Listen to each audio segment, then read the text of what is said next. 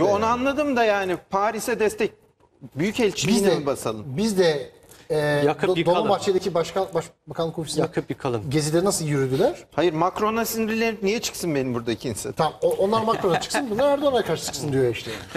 E, Sinirlendirecek bir şey yapmadı ki adamcağız ya. O zaman madem öyle Taceddin şunu demek istiyor. Madem o kadar istiyorsun git Fransız konsolosunun önüne, Ya elçinin gitmiş önüne bir tane sarı CHP'li yelek giy. milletvekili. Bak bu sarı yelek giy Bu falan. kafa şöyle Gitmiş bir kafa. katılmaya. Gitmiş. Ha. Efendim ikisi de dalda biter, ikisi de sarıdır, e, ikisi de aynıdır diye affedersin portakalla limonu aynı zannetmektir bu. Gezi ile Fransa'daki sarı yelekliler arasında çok majör bir fark var hocam. Bu da nedir?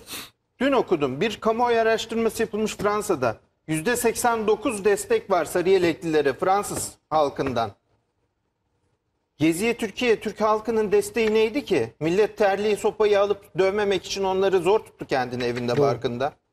Ama yine de En bu son meşruiyet, İstiklal Caddesi'ndeki yine de bu meşru şeylerinde- olduğu anlamına gelmez bak Hayır söyleyeyim. bak meşrudur, meşru olduğu meşrudur değildir gelmez. değil. Burada iki şeyi aynı düzleme çekip aynı şeyden aynı refleks var imasını yayıyorlar ya adamlar. Ulan İstiklal Caddesi'nde esnaf aldı en son süpürge sopasıyla kovaladı. Satırla canım şeyle Satırla ha neyse ben e, diyemem. pala, pala, Palayla. Pala. Valla bu Fransa'daki bu sarı yelekliler hikayesi üzerinden estirilen rüzgarın eninde sonunda gelip yine yabancı düşmanlığına, Müslüman düşmanlığına, e, Avrupa'da artık iyice alevlenen ırkçılığa gelip dayanacağını da göreceğiz.